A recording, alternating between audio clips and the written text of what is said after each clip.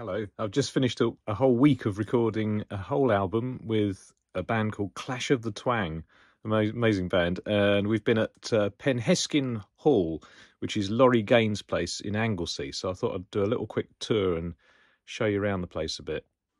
So this is the luxurious control room with the with a, a very unusual Crest Century console, which is some kind of American live desk but um, sounds all right. I mean, we just used the preamps for some things and um, sounded great actually. And the EQ's pretty cool. Got loads of knobs on it. Um, and of course, there's the, the business end of things. Bit of uh, Pro Tools going on. Um, and these great Neumann monitors, not used those before, they sounded really good. And trusty NS10s um, and stuff.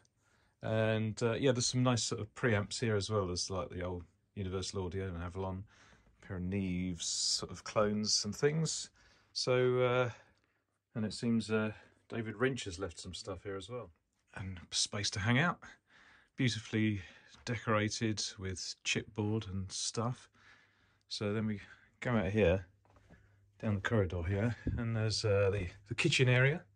And of course in the kitchen there's a uh, handy pot of Moongel for deadening your your breakfast or something with um, microwave and all the rest of it and the loo and into the into the big recording room which is just literally full of junk. I think people come and rehearse here and just leave stuff. There's two upright pianos there, um, loads of guitar amps everywhere, um, a vibraphone, some guitars. I hadn't even noticed those, and I've been here all week.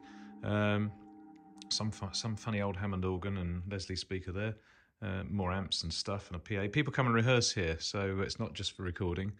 Um, big high wooden. The whole construction is wooden. It's on the site of an old hospital for consumption, a Victorian thing, I think, or Edwardian. So, uh, so it's a pretty sort of historic site. Um, but it's all made out of wood, so there's no masonry anywhere. And the room just sounds fantastic. So you've got the old uh, Coles ribbon mic there, which we made good use of for a bit of drums and percussion. And there's a sort of platform for the drums to sit on there. And a pair of timps. We even used those on one of the songs.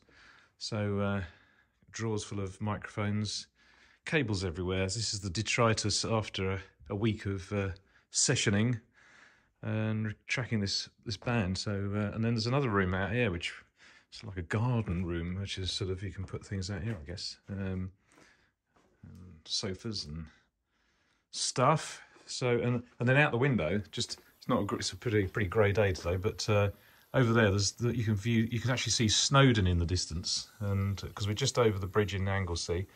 Um, and lots of mountains, and it's very beautiful on a sunny day. But today is not a sunny day, sadly. Um, and then I, behind that door is my bedroom where I've been staying. So um, there we are, Penhesgyn Hall Studios. Great place. Had a brilliant time here, and it all sounded wonderful.